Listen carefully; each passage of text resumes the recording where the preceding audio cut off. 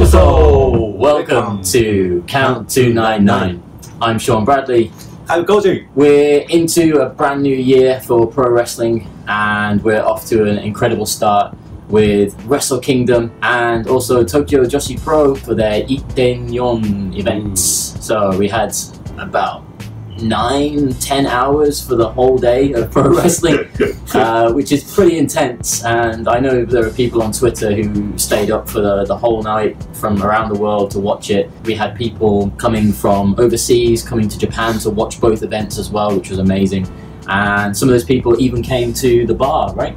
So we might as well kick off with talking about Wrestle Kingdom and we will see what the Japanese fans' reactions were to each event. Some people aren't happy with the fact that Okada won. They were expecting Naito. I'm a I'm a Naito fan myself, so I wanted Naito to win, but I wasn't I wasn't angry that Okada won. I can kind of understand the booking decision, but we're going to ask Koji for his uh, top three matches from Wrestle Kingdom, and I think some of you might be surprised. So, Koji, what was your number three ranked match for Wrestle Kingdom? はい、えっ、と、ベストバウトナンバー3は、岡田 VS ナイトです。 Oh, はい。いい試合ですよ、もちろん。はい、素晴らしい試合ですけども、えーまあ、岡田対内藤っていうのはもう過去何回も試合をしてきてて、お客様の期待値が高いんですよね。mm, うん、ある程度のレベルの試合はもうするという予想をしてしまってる上での試合なので、まあ、結構難しい試合、mm. うん、これを超えないといけないので、えーそれをちょっと、まあ、そこが難しいポイントだったんですけども、まあ、そういう意味では、えーまあ、期待通りではあるんですけども期待以上まではいかなかったかなっていうのが私の感想ですでもあの素晴らしい試合でしたね Mhm. 私もナイトが勝つと思ってました。はい。yeah, I mean, it was a fantastic match. It was really good, and I think a lot of Western fans, obviously, they put Naito and Okada as the top level players. But if you had to compare it to something like WWE, I imagine it would be the same comparison as seeing John Cena versus uh, Randy Orton. And we all know how many times we've seen Randy Orton versus John Cena over the past you know, 10, 15 years. Even though this was the main event of Wrestle Kingdom, a lot of Japanese fans have kind of ranked it quite low on the card, so it was quite surprising, I think.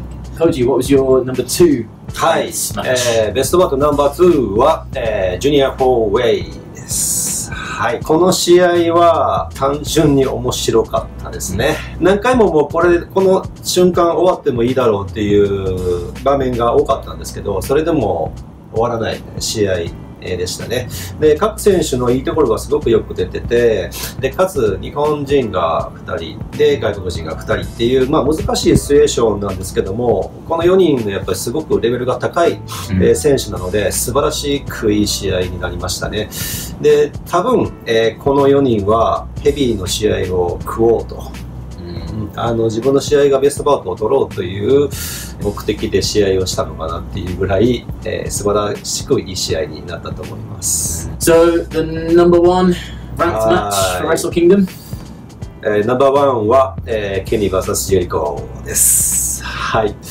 この試合は、なんだろう、試合が、まあ、決まった瞬間が一番ビッグサプライズで、Mm. もちろん試合が始まるまでも一番期待値が高い試合だと思っていました。で正直言うと試合はちょっと心配。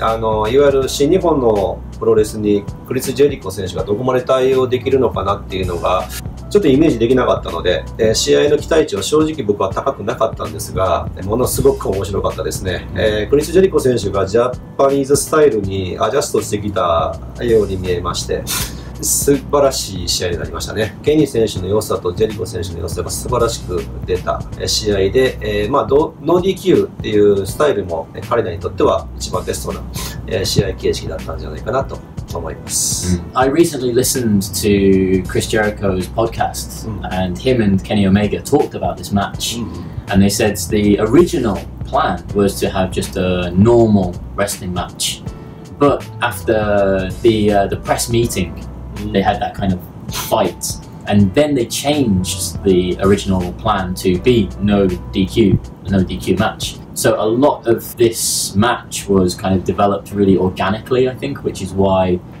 it was so uh, popular with Western fans and Japanese fans too. So Koji, any any other kind of facts from Wrestle Kingdom? うんえー今回のレスルキングダムは3万5千人ぐらいかなお客さん入りました、えー去年よりも少し増えましたね。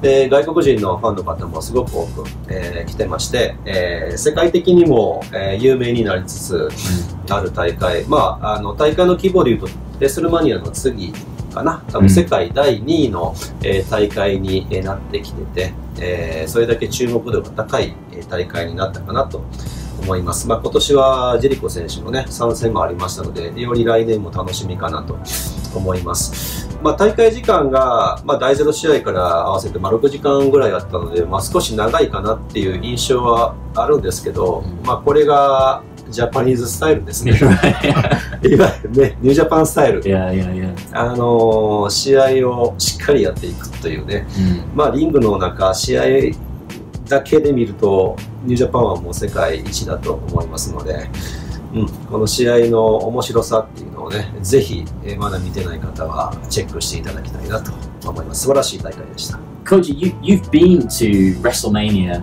and Wrestle Kingdom. So, how would you compare WrestleMania and Wrestle Kingdom? レスルマニアはやっぱりエンターテインメントかな。うん、Mm. やっぱり、あの歌のコーナーとかあるでしょ。いやいやいや。なんかあのプロレス以外のショータイム的な時間もありますよね。レスルキングはやっぱりプロレスに特化したレスリングに特化したっていう話かな。いや、I、まあどっちらも素晴らしい大会ですね。いや、あの I mean, both both are kind of entertainment, but I think WWE focuses more on the the entertainment, the show, the the singing, the fireworks, and New Japan focuses more on the kind of the wrestling. I think. so before Wrestle Kingdom, uh, Tokyo Joshi Pro had their big main event of the year, at Itenyon. This was actually free on DDT Universe when it was streaming, so this was a great opportunity for more fans to come and get eyes on Tokyo Joshi Pro. This event had two really outlandish characters, one from DDT and one from Tokyo Joshi Pro, uh, Danshoku Dino and Maki Ito.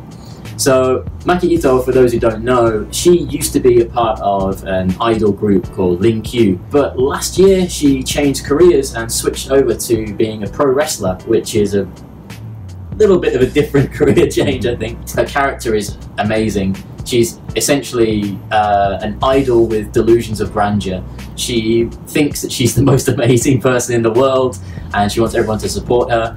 And then on the flip side of that, we've got Danshoku Dino. So for those who don't know, uh, Danshoku Dino is an openly gay wrestler. Uh, Ito Maki, she just wants to get everyone's respect. But she has the, the Respect Army as well, Ito Maki Respect Army. I'm a member of Ito Maki's Respect Army, number 123. So she had a match against Danshoku Dino, which was very unusual because obviously he's a male wrestler going into a female wrestler, and she really put up a fight, which was interesting. So definitely check that one out. And also talking of foreigners uh, coming over to watch Wrestle Kingdom, we also had a foreign wrestler come over to Tokyo Joshi Pro in Veda Scott, and Veda Scott was going up against Maho Kurone. For those who don't know, Maho Kurone is a zombie wrestler. If you follow me on Twitter, you've probably seen it recently that I've been posting lots of GIFs and videos and translations because I think she's awesome. But the interesting thing about this match was that Veda Scott is vegan. So it was really interesting because at the start of the match, she offered these kind of vegetables to Maho and Maho kind of just smacked them out of her hand and attacked her in a zombie style. That was a really interesting match for the comedy value, I think. So the main event was the, the Muscle, Idol, Reika Saiki, and also Miu Yamashita. Yamashita. So Miu actually made her debut in 2013, so she's not been wrestling that long, and she already has that uh, characteristic of a main event fighter. So this match was really hard hitting, lots of kicks, very stiff kicks. Miu was actually the first ever Tokyo Joshi Pro Champion. It was good to see her reclaim that title and she's going to probably be carrying the company now for the next couple of months. I think Baker is maybe focusing more on her modelling and maybe her idol side of things because she's also in a band as well with Ladybeard. Oh! Ah, Ladybeard, yeah. Mm -hmm. So great event, which I recommend that you check out. First month of DDT Universe is free. After that one month trial period, then you'll get charged. Just a, a word of warning: if you do subscribe to DDT uh, Pro, make sure you subscribe at the very start of the month. It works with a Japanese-style billing system where it automatically just bills you on the last day of the month. So if you sign up two days before the end of the month, you're going to end up paying twice the amount for two or three days. So just be careful when you sign up. Let's go on to the, the next part of the show, which is the wrestler of the month. Okay, so Koji, はい、who is your wrestler of the month? はいえー今月のレスラー・オブ・マンツは、えークリス・ジェリコ選手です。クリス・ジェリコ選手って日本で試合するのってかなり久しぶりで、えー今の新日本のファンって実はあまり知らないんですよね。うん実際出てきた時も誰っていうところからスタートしてることも実際多くて、あの、青、なんていうか、登場の VTR であったりとか、福岡でサプライズの登場があったり、えー、上映式があったりするんですけど、そこでの、まず、アクションが素晴らしいです。うんこれは、あの、日本でももちろん、あの、記者会見、あの、いわゆる上映式とか、タイトルマッチに向けて、選手同士が、えー向かい合うことがあるんですけど、でそんな面白くないんですよ。でもやっぱりそこが、やっぱり WWE のトップ選手のジェリコ選手は、やっぱ見せ方が違うな、単純にやっぱり素晴らしいなと思って見てて、かつ試合、あと試合に関しても、ローロボジェリコを、えーまあ、すごく使ってたんですけど、いかにこれをこの技がフィニッシャーですよっていうのをあのすごく、まあ、分かりやすくというか うまいなと思いましたよね。でずっとそれを使うことによってこの技がすごく、まあ、日本で言うとあのすり込みってなるんですけどね。あうん。の知らない人にこの技がっていうのはずっと使っていくことであのファンの方があこれがフィニッシャーなんだなっていうのを覚えていくんですけどそれがすごくあのうまかったですよね。コードブレーカーもう一つジェリコ選手必殺技あるんですけど、これが30分超えてからしか出さなかったんですよね。うん、だからやっぱり技のチョイスの仕方がものすごくうまくて、かつやっぱりそこまで危険ではない。ジェリコ選手のレスリングはね、今やっぱりちょっと日本のプロレスが少し危険になってきてるので、ジェリコ選手の試合はいい意味で日本の選手も参考にできるんじゃないかなと思いますし、まあ、日本で一番タイプ近いのは近いのは棚橋選手かなと思いました。うんうんなので、棚橋選手とジェリコ選手の試合見てみたいですね。いう形が一番タイプが近いかなと思いましたし、試合まで含めると、えー日本の選手はいろいろと勉強になることが多いんじゃないかなというぐらいあのプロフェッショナルでした。Yeah, yeah. はい。Yeah, I think with with Jericho being able to adapt and change his style as well, it's going to be interesting to see how long he stays in New Japan.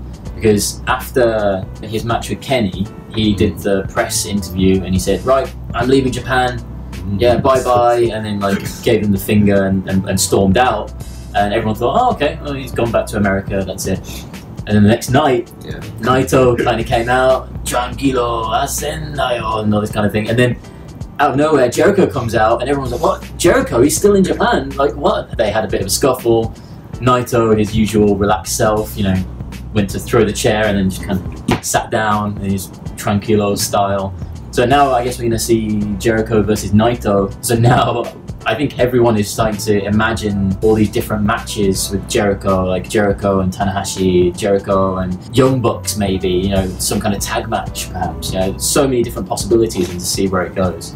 Okay, and my wrestler of the month, no surprise. Yeah, obviously, if you've been following me on Twitter, I think you already know who it's going to be. Maho Kurone. Of course, it's going to be Maho. I first discovered Maho on YouTube, I think. Someone had uploaded a clip from Tokyo Joshi Pro.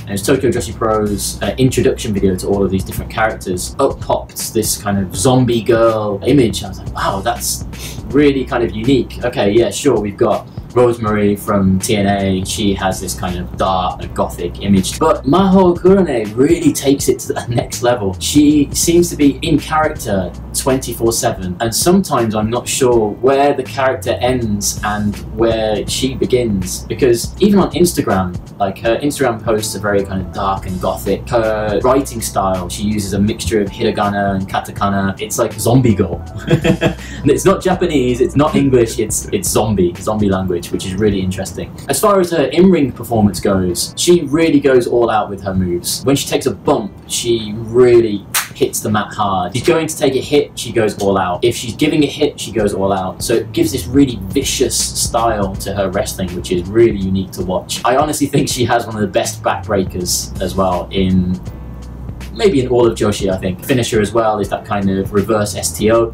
Sometimes she'll put a twist on it, so it's more like that kind of Sister Abigail style, but sometimes it's just a straight back kind of STO. But I really hope that this year she will start to develop more as a singles character. Hopefully, she will get that main event push and she will be pushed into the spotlight. Really think she deserves to be in that main event spot. Yep, so that's everything. Thanks again to everyone who's liked and subscribed to the channel. Thanks to these people for supplying us with the subtitles for each episode. I try my best to make the English subtitles, but I do have help from other people. So thank you to those guys uh, for helping me out with the subtitles. Koji recently had a lot of foreign fans uh, come to the bar. Any any message for Gaikuku fans?